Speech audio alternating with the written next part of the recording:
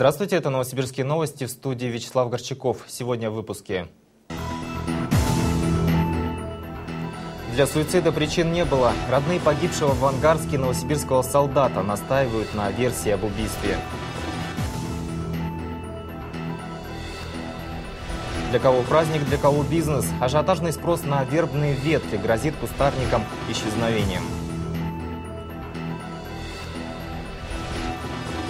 Зачем стрекозе помада? Новосибирские ученые пересчитали крылатых насекомых с помощью косметики. Родные солдата, найденного мертвым в военной части Ангарска, утверждают, что его могли убить. По их словам, у Михаила Раковского не было причин для суицида, а на его теле есть подозрительные раны. Напомню, солдата-срочника из Новосибирска нашли с простреленной головой на посту. По официальной версии, Раковский наложил на себя руки. С родственниками погибшего встретился Алексей Фазлеев. Мы заказали памятник. Обычно же вот такие ставят, пока не сядет могила. Фотографию Михаила Раковского к временному памятнику приходится приклеивать скотчем. Со дня смерти военнослужащего из Новосибирска прошло уже 9 дней. Мерзлая земля оттаяла, поэтому вокруг могилы непролазная грязь. Навести порядок и помянуть Михаила на кладбище пришли самые близкие. Сестра, тетя, двоюродный брат. Без родителей парень остался в 4 года. Воспитывался в детском доме. От призыва не бегал. В армию пошел осознанно. Он был нацелен, направлен. То есть пройти это год не так было много. Парень был самостоятельный, уверен, что это все хорошо будет. Да и мы не думали, что так закончится. Михаила Раковского нашли мертвым на посту в военной части в Ангарске. По официальной версии, военнослужащий скончался от огнестрельного ранения в голову. В обойме автомата, обнаруженного рядом, не хватало одного патрона. Военные сообщили близким. Других повреждений, кроме огнестрельного ранения, нет. Родная сестра Михаила видела тело брата и настаивает. На горле был большой шрам. Ему могли сказать слово, мог, два сказать. То есть ему, знаете, что в армии могут треснуть хорошо. Поэтому мне кажется, что просто ему дали хорошо в кадык, что он умер. И сказали, якобы он застрелился. То есть я не верю в эту смерть, я буду также разбираться в этом. В личной тумбочке Михаила нашли книги по психологии с воспоминаниями людей, переживших клиническую смерть. Военные следователи уже выдвинули версию. Парень был склонен к суициду. Родственники считают, что это просто удобная отговорка. Вы обнаружили литературу, не давали бы ружье, правда? Здесь же он читал литературу и не скинулся ниоткуда, не повешался, не застрелился. Точки над «и» могли бы расставить результаты судебно-медицинской экспертизы. Кроме того, есть записи с камер видеонаблюдения. Однако у близких погибшего солдата никаких документов, кроме свидетельства о смерти, нет. Детали следствия пока не разглашаются. Родственники Михаила надеются, что хотя бы к следующей скорбной дате, 40 дней, станет известно, при каких обстоятельствах умер Михаил Раковский. Алексей Фазлеев, Олег Крылевец, Новосибирские новости. Дачный поселок в Дзержинском районе оказался под водой. Виной стихийного бедствия стала речка Каменка. Из-за резкого таяния снега ее приток сменил русло. В результате половодья уже начали разрушаться дома и постройки. Садоводы подсчитывают ущерб. Раньше дачный участок Елены в этом обществе считался одним из лучших. Сейчас через него течет река. Теплица скоро завалится, и клубники нету, и розы все уплыли мои куда-то, и кустарники тоже, наверное, скоро уплывут. Елена одна из многих, чей участок поделил пополам приток реки Каменка. С одной стороны домик, с другой – вход на дачу. Садоводы подсчитывают убытки. На участок попасть не смогли. Мы были просто в шоке, конечно, потому что ну, все затоплено. Затоплено пол огорода. Все посадки наши, все наши труды и старания, и все наши также деньги, которые потрачены на эти саженцы, ну все просто, все куда-то унесло течением.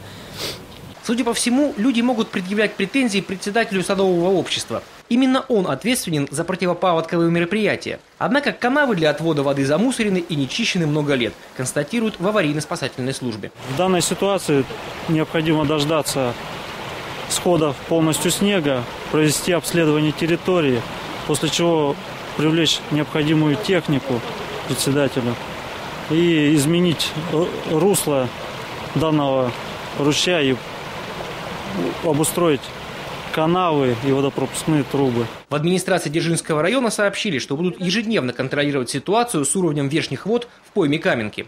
В случае ухудшения ситуации власти готовы задействовать спецтехнику. Артем Шершнев, Ольга Загоруйко и Олег Кролевец. Новосибирские новости. Второй вестибюль на станции «Золотая Нива» откроется в эту субботу, сообщили сегодня в руководстве Новосибирского метрополитена. Вместе с вестибюлем начнут действовать и два входа, расположенные по обеим сторонам улицы Бориса Боготкова. В следующем году планируют начать строительство левого тоннеля. И только после этого можно будет приступать к работе над следующей станцией метро – Даватора. Пока на строительство Новосибирской подземки в 2013 году в областном и городском бюджетах заложено только 228 миллионов рублей. Поэтому власти рассчитывают на федеральную поддержку. Население Новосибирска достигло полутора миллионов человек. С этого заключения Новосибирск стата начал свою традиционную встречу с журналистами Владимир Городецкий.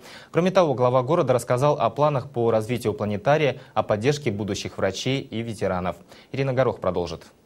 На этой неделе власти подвели первые итоги работы нового планетария. С момента открытия его посетило уже 8 тысяч детей. Чтобы поддерживать популярность астрофизического центра, в Новосибирске создадут ученый совет из специалистов разных направлений. Одной из главных задач совета станет развитие детской киностудии, которую уже создали на базе планетария. А чтобы посетителям было удобнее добираться до места, усовершенствуют транспортную развязку. Будет э, построен ну, или там расширен, построен пешеходный тротуар со стороны разъезда Иня туда вверх на э, зону э, верхнюю. Вот. Второй момент. Закладываем сегодня, проектируем уширение основной дороги от Ключ-Камышинск, э, Ключ-Камышинскому плата со стороны ТЭЦ-5, чтобы маршрут можно пустить. Сегодня там дорога есть, но она узкая, и по безопасности нельзя пустить пассажирские маршруты.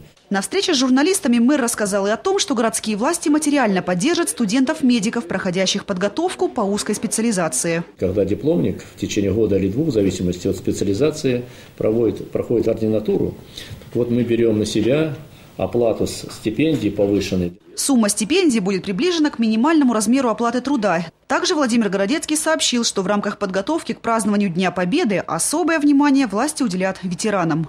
С 15 апреля специальные службы, социальные службы вместе с трудовым э, десантом молодежи будут организованы работы по оказанию помощи участникам войны, э, по очистке, уборке квартир, там, по дворовым территориям, по ухаживанию, вот, кто живет в частном секторе.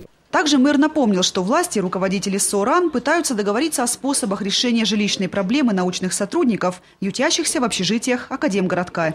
Ирина Горох, Максим Федосеев. Новосибирские новости. Главный символ наступающего православного праздника вербного воскресенья на грани исчезновения. Предприимчивые дельцы повсеместно вырубают кустарники с мохнатыми почками, превращая их в товар. Против этого выступают и священнослужители, и экологи. Но пока есть спрос, будет и предложение. Репортаж Марины Авериной. Вот, вот это вот 100, эти 50, вот веточка по 50, это по 20, это по 40. Накануне православного праздника верба – самый ходовой товар. Лотки с ветками буквально повсюду. Десятилетняя Настя Сметанникова готова прогулять школу. Все ради мечты. На вырученные деньги хочет приобрести роликовые коньки. Ты в школе учишься? Да. А здесь почему? После Ну, школы? меня отпустили.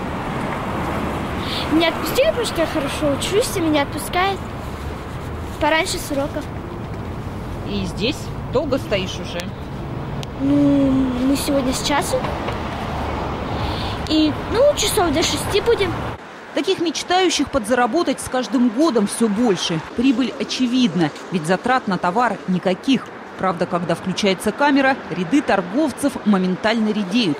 Еще пять минут назад эти женщины бойко предлагали купить вербу. Теперь утверждают, что к ним не имеют никакого отношения. Но жажда наживы все же берет верх. Все-таки ваши вербы. Да не мои вербы. Но он ушел, попросил, что мне его не продать, что ли? Интересные. Выбирайте он любые. Экологи бьют тревогу. Кустарник, который всегда считался одним из самых живучих видов семейства ивовых, на грани исчезновения. Сейчас вербу можно узнать с трудом. Почти все ветки с пушистыми почками обломаны. И такую картину можно наблюдать вдоль всего берега.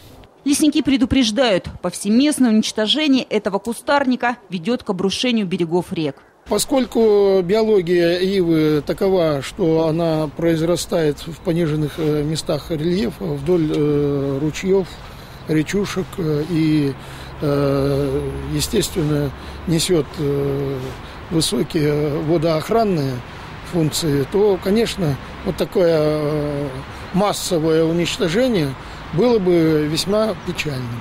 В церкви тех, кто хочет заработать на православных традициях, порицают. Говорят, истинным верующим достаточно всего лишь одной-двух веточек, чтобы показать, что ты с Богом. Это дело нашей совести, тех людей, которые э, подходят к этому чисто с утилитарной точки зрения. Не так много надо вербочек. Потому что то, то что много наломает, может э, и не пригодится никому. Уничтожение вербы может привести еще и к дефициту меда. Ведь первый взяток пчелы берут именно у раннецветущих кустарников и первоцветов. Марина Аверина, Олег Макаров, Новосибирские новости. Еще 15 детских садов появится в Новосибирске к концу 2012 года. Это сократит очередь на 3000 мест. В планах капитальный ремонт и реконструкция 10 объектов. Кроме того, выделено 5 площадок под строительство детских садов. Их будут возводить в новых бурно развивающихся районах. Сейчас заканчивается проектирование трех зданий, а во многих помещениях уже вовсю кипит работа. Практически все эти работы будут проходить во всех районах города. А, за исключением а, одного, это в железнодорожном районе только не попал у меня ни один, вот, ни один детский садик по этому району. А, и должны ввести по, после того, как введем эти объекты в эксплуатацию, это будет дополнительно почти 3000 э, детских дошкольных мест. Между тем, в школах города возрождают массовую утреннюю зарядку. Пока это коснулось 10 образовательных учреждений, которые стали участниками специального регионального проекта. Но в будущем подобные разминки ждут всех учеников. Как к этому относятся сами дети? На физзарядке побывала Елена Богатырева. В этой школе зарядку проводят пока только в начальных классах. За 15 минут до начала урока первоклашки выполняют несложные упражнения. Мы делаем приседания, бег по кругу. На носочках ходим и на пяточках. Подросткам предложили начать занятия со следующего учебного года. Однако недовольные нашлись уже сегодня. Я считаю это ненужным. Мы уже вышли из такого детства, и как бы нам это не, не очень обязательно. Впрочем, педагоги готовы идти на уступки тинейджерам. У девочек есть короткие юбки, прочее, где очень трудно делать какое-то приседание или наклон. Это стеснение идет, и это комплекс. То есть на сегодня нужно правильно, наверное, составить утреннюю зарядку, чтобы она вот этим дискомфортом э, не было. А вот старые добрые физминутки здесь перестали быть атрибутом начальной школы. Педагоги охотно включают их в образовательные программы. Play basketball. Во-первых, оно запоминают дети слова в действии сразу же. Э, действия, прыгать, бегать, читать, играть, это все сразу. И отдыхают. В середине урока это всегда очень замечательно. В старших классах ведут физминутки сами ученики. Девятиклассник Юра Романов рассказывает. Свой комплекс упражнений составлял вместе с учителем физкультуры. Готовился и изрядно волновался. Ну, раньше реагировали, типа, ха-ха, смешно, а сейчас нормально реагируют. За первый год реализации проекта в школе начали работать 12 спортивных секций. От желающих серьезно тренироваться отбоя нет. Дальнейшая перспектива – высокие спортивные достижения. Мы э, надеемся, что э, вот все те школы, которые в проекте, они не только э, повысят да, количество ребят, э, занятых физической культурой и спортом, занятия в секциях, но и, конечно же, и в этих школах будет э, э, усилена работа по э, развитию спортивно одаренных детей. Сегодня в проекте участвует около 25 тысяч школьников. Первые итоги подведут в конце учебного года, когда специалисты проанализируют, как изменился уровень физподготовки и здоровья этих учеников. Елена Богатырева, Артем Тумарь, Новосибирские новости. Новосибирские ученые пересчитали популяцию стрекоз в Западной Сибири. Разумеется, исследования проводили не ради праздного любопытства. По словам энтомологов, если эти крылатые насекомые вдруг исчезнут, не поздоровится ни человеку, ни животным. Как исследователям помогло содержимое дамской косметички, знает Мария Черешнева. Интересно, что метки на крылья стрекозам наносили при помощи обыкновенной губной помады. Во-первых, она совершенно безвредна для насекомых. Во-вторых, яркие оттенки красного хорошо видны издалека. Наконец, в полевых условиях губную помаду просто легко носить с собой.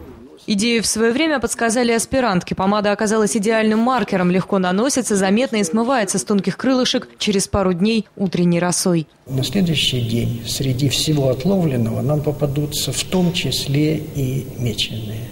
И вот по пропорции, по количеству меченых среди повторно отловленных, по простенькой школьной формуле легко рассчитать э, в целом численность данных организмов на данной территории. Конечно, метили насекомых помадой ученые не ради развлечения. Дело в том, что не будь стрекоз, говорят исследователи, и жизнь на Земле в нынешнем виде была бы под вопросом. Стрекозы переносят из-под воды на сушу так называемый комплекс омега-3, важное для всех живых организмов вещество. Дело в том, что омега-3, а точнее правильнее комплекс полиненасыщенных жирных кислот синтезируется только водорослями и морскими, и пресноводными, и нигде больше. А эти кислоты играют большую роль в биохимии всех животных, и в теле животных они синтезироваться не могут. Для изучения состояния популяции стрекоз в Сдвинском районе был выбран участок площадью 272 квадратных километра. Это специально подобранный полигон, эталон западносибирского ландшафта. В результате на выделенном квадрате насчитали 4,5 миллиарда стрекоз. Это почти 300 тонн живой биомассы. Количество вполне достаточное, чтобы жителям области не беспокоиться о недостатке в организме жирных кислот. Грядущим летом исследования повторятся. Впрочем, ученые не ждут кардинальных изменений. Стрекоза насекомые неприхотливые, да и истреблять их намеренно никто не собирается. Мария Черешнева, Максим Федосеев, Новосибирские новости. Накануне католической Пасхи в Театре оперы и балета прозвучит знаменитый реквием Джузеппе Верди. Исполнять бессмертные произведения будут солисты самых известных театров мира, а на сцену даже выйдет двойной состав хора и оркестра. На масштабной репетиции побывал Станислав Якушевич. Великий мастер оперы Верди и заупокойную мессу трактует как сценическое действо. Музыкальные образы тут далеки от молитвенной созерцательности. По драматизму, по вокальной стилистике «Реквием» ближе к Аиде или Макбету. А из дуэта, который первоначально был написан для оперы «Дон Карлос», родилась возвышенная лакримоза.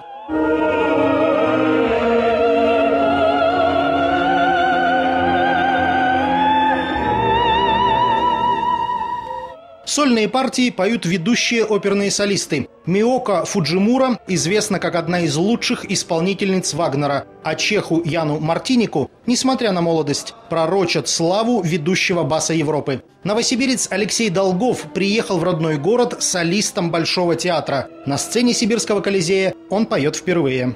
Все-таки свои стены, хоть и хоть вроде дом помогает, но все равно процентов, наверное, 30 или 40 вот, э, людей я знаю, они очень внимательно, как бы сказать, слушают. Конечно, я уехал, э, э, видимо, все ждут, что, вот, что произошло с тем человеком. Естественно, это волнительно.